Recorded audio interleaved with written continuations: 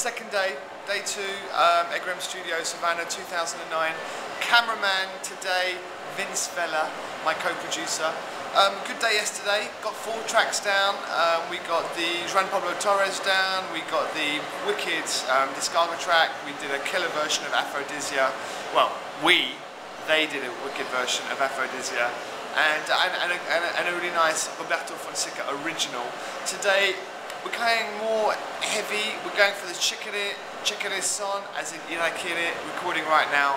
I did a bit of vibes on one of yesterday's tracks. I think we're going to do a Fela track today, we're going to do a little version of Roforofo Fight, Cuban style.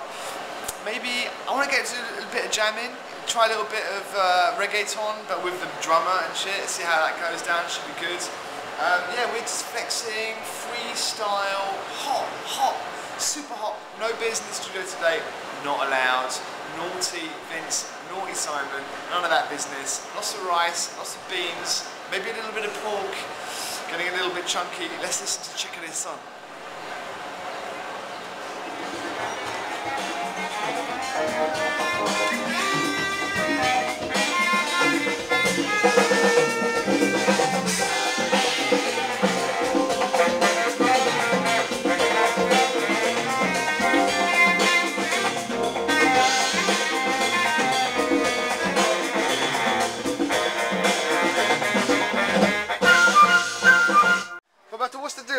Doing right now? What's So this? we are doing the really uh, amazing record.